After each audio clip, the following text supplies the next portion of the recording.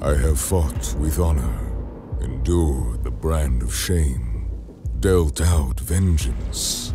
Even at the threshold of oblivion, I stood against false truth and the all-consuming flood. But now, new foes have risen, and I have become their prey.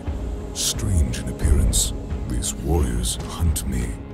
I see courage and conviction in their eyes, but also questions. The same questions I ask myself.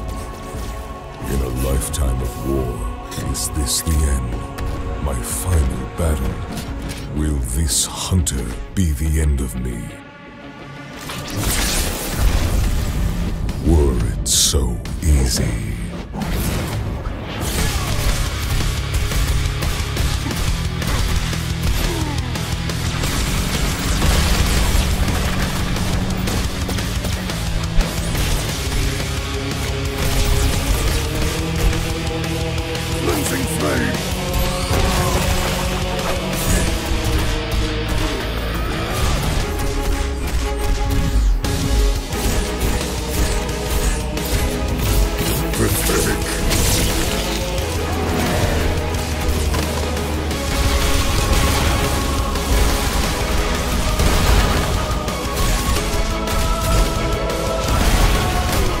Another victory, yes, but there is always another battle.